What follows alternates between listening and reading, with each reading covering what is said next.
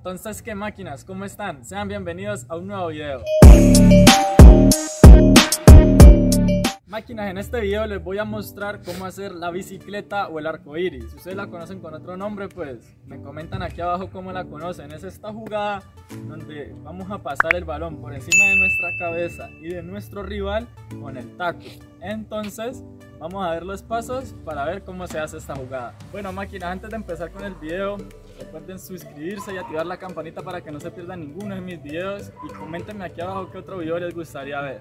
Bueno máquinas, el primer paso que vamos a ver es el siguiente. Vamos a colocar el pie de apoyo ahí al lado del balón y colocamos nuestro toque para poder hacerle una presión al balón. Vamos a hacerle una presión al balón para asegurarlo. Esto cuando el balón está quieto, si está en movimiento haremos lo mismo pero entonces ya vamos a calcular para poder hacerlo. Ya no va a ser como que tan fácil, sino que hay que calcular el movimiento del balón para poder presionarlo. Bueno máquinas, cuando ya tenemos el balón aquí, lo que vamos a hacer es, yo por lo menos soy derecho y la hago con la pierna izquierda. Entonces con la derecha subo el balón hacia atrás y hacia arriba. Hago lo siguiente. Este es el movimiento que voy a hacer para poder después tirar el taco. Entonces una combinación de los dos movimientos sería lo siguiente. Así.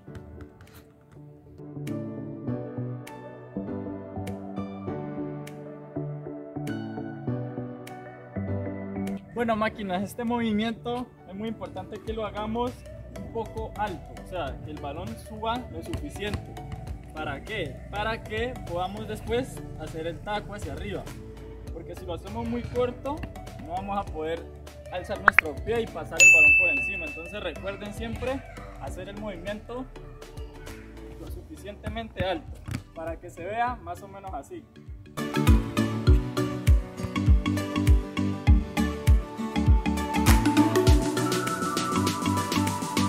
Bueno máquinas, después de ver esto, lo único que queda y es muy importante va a ser la manera con la que vamos a patear, como les había dicho es con el taco.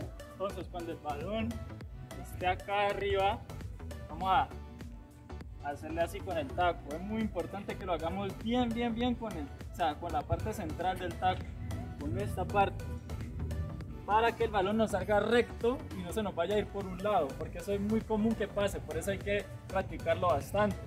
Entonces, recordar siempre, alzarla, subirla y hacer el taco bien hecho. O sea, practiquemos bien eso para que después nos salga de la mejor manera.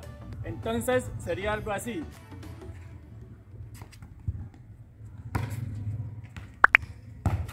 Bueno, máquinas, y después solamente queda practicar. Eh, es algo un poco complicado porque son unos movimientos combinados. O sea, todo esto lo tenemos que hacer de forma rápida, entonces hay que hacerlo paso por paso para que después cuando lo combinemos nos salga bien. Y siempre tener en cuenta el taco. El taco es lo más importante porque es con lo que vamos a impulsar el balón por encima de, de nuestra cabeza y de nuestro rival. Entonces es muy importante eso.